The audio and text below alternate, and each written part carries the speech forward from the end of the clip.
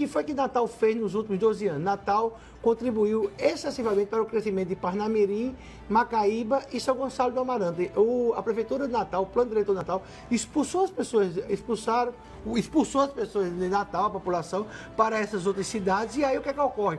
As pessoas pagam os impostos lá, pagam IPTU lá, mas é, recebem os serviços Trabalha aqui, cobra as coisas aqui, né? É, a saúde é daqui, tudo daqui, o emprego é daqui. Tudo né? daqui. É, lamentavelmente foi uma política errada. Olha, gente, não tem porquê ali, aquele, aquela orla da Ridinha, não ser só de grandes apart edifícios, é, grandes apartamentos, um negócio urbanizado com restaurante. Gente, você passar pela via costeira.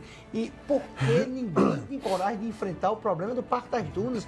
Desde a época de, eu não sei se foi no governo Lavoisier ou no governo Zé Agripino, que quando foi criado é, a, a, a, via costeira, tinha que poder edificar sim do lado direito, tinha que poder. Qual o problema de avançar 40, 50 metros para construir restaurantes, boates, é, lojas, é, é, é equipamento, para aqui, para urbanizar. As pessoas têm que che ou, é, chegar num hotel daquele ali, gente, e sair a pé.